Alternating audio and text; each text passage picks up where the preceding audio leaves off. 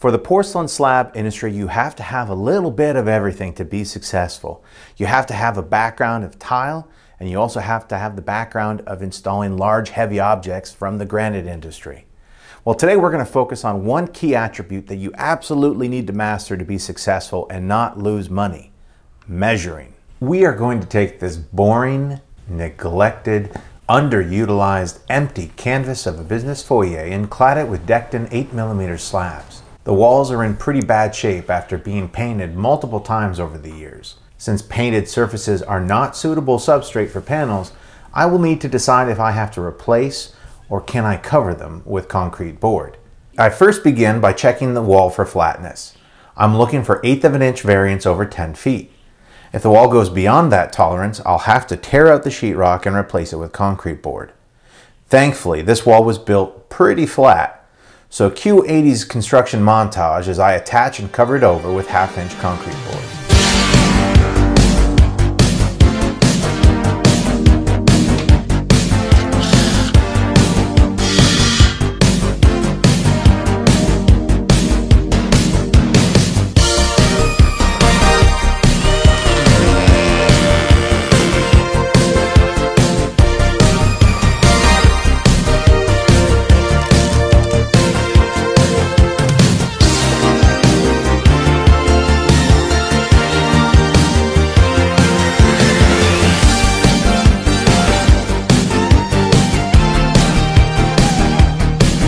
Now that our wall is prepped and ready for installation, it's time to get final measurements.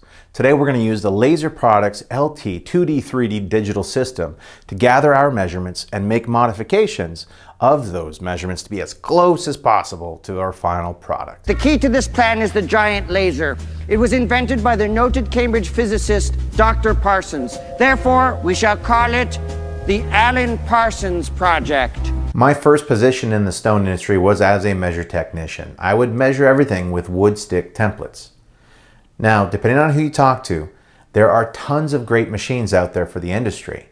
This video is not designed to tell you which machine to go out and buy. It's merely to be used as a teaching aid so that you can speed up your measuring process to allow you to have a successful installation with as few corrections as needed. On a personal note, I did own a 2D 3D for many years. It was a solid machine and was easy to use, had low maintenance, and had incredible functionality. Laser Products is currently selling their new models at just over $17,000. Now who the hell is gonna buy that? Are you joking?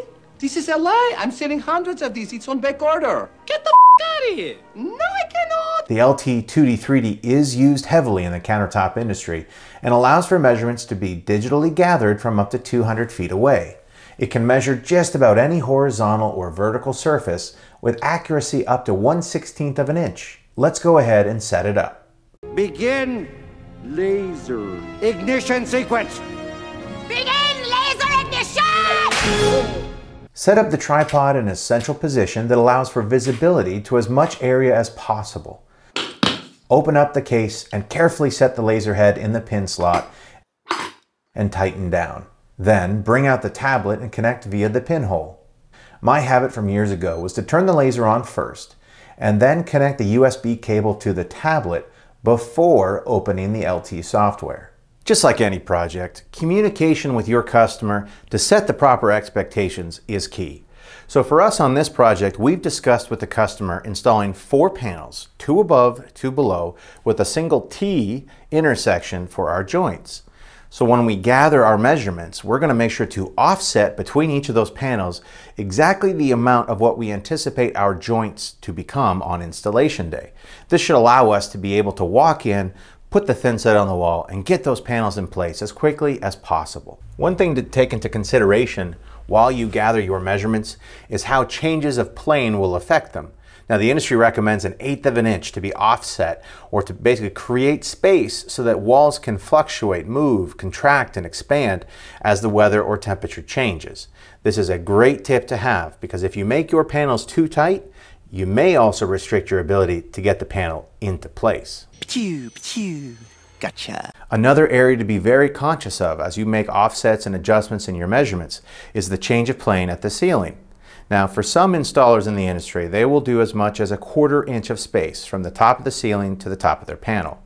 Whatever it is that you decide to do, make sure you communicate this with your customer because it would be terrible for you to finish up a project only to have that designer or homeowner come in and be upset at the amount of silicone you've had to put 25 feet up in the air. Begin by establishing the plane you are shooting. I get the left wall, then the right, and then a dot at the ceiling. By pushing Start, New Line, I can begin shooting around the room. As you shoot around the walls, it is important to take measurements every 4 to 10 inches, depending on the bows in the wall. This allows for a clean, scribed cut if you are using a water jet. When you approach corners, slow down and bring the increments you shoot to a tighter amount of less than half an inch. For the floor, I shoot two points per tile right at the edge so that I can catch any deviation between the flooring to make sure that the previous installer was honest in how well he put it together. I normally utilize a laser level to establish a plumb and level line in the drawing. This allows you to have a correct orientation when you make adjustments and add seams. You can do the same thing by drawing a plumb and level line with a 4 foot level. Shoot two points on each line, creating an X and Y axis on your drawing. Remember too, you can be accurate even with outlets. And in this case, having a 2 inch by 3.5 inch outlet is as easy as drawing single lines around the opening. Don't get too excited to forget to save. Do so by clicking File and Save. Look for the check mark to make sure it's saved correctly. Lastly, take your tape measure and double check your measurements. You don't want to leave the job site with missed or inaccurate shots. A measure tech who doesn't double check is like a shot from a Star Wars stormtrooper. They always miss.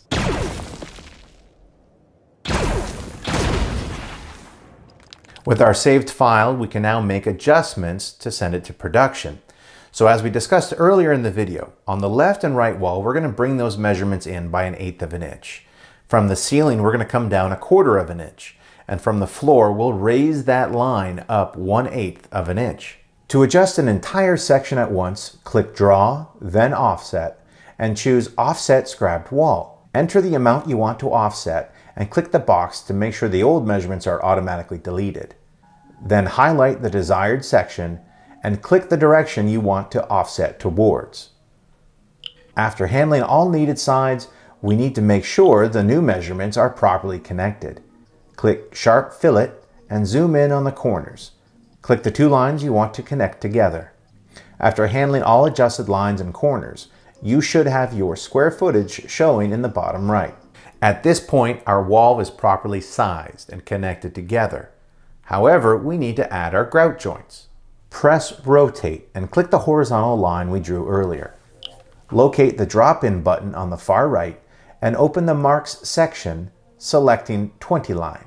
I've decided to find absolute center of the ceiling section, so I drop the 20 line on the top right corner.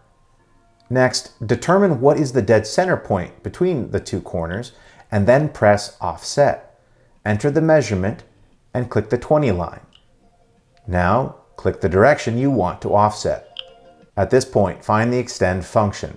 Click the bottom line directly below the centered 20 line. The Laser Product software does have some common sense built into it. By selecting a new 20 line and rotating it 90 degrees, we can click anywhere in the middle of our existing grout joint, and that 20 line will be dropped dead center, establishing our X and Y axis. Merely extend that center line to the left wall and the right wall, and you have dead center across all four quadrants. Oh my god! Wow! I know, right? At this point, we can create the needed space between panels for the grout joints. ANSI A108 standards for large format tile and panels establishes that the minimum size for your grout joint needs to be 1 8th of an inch. So what I'm going to do is offset both directions from my center line a 16th. And with those two offsets combined, I will have established my minimum eighth of an inch grout joint. Sharp fillet the lines together to create four distinct areas. Then select Edit and choose Erase Segment to erase the lines from the wall edge that connects the areas together. To move the panels apart for ease of reading, choose Slab Layout, highlight the rectangle you want to move, and then offset whatever distance looks best to you. Draw your dimensions, label your drawings, save, and you are good to go. Your digital dimensions are now ready to go into production. You can either email them to your local fabricator or deliver via thumb drive. Whatever fabricator you choose, make sure that their CNC equipment can properly handle the Dekton or porcelain slabs that you might be working with. It would be a shame for you to lose such an expensive piece of material because of a fabricator not knowing how to properly calibrate their equipment. In our next video, we'll go into the CNC production capabilities required to properly facilitate installation of properly cut pieces. Make sure you like and subscribe to be notified when that video gets posted along with the many others that we have in production at this time. We thank you for watching and as always, you're not a pro unless you know.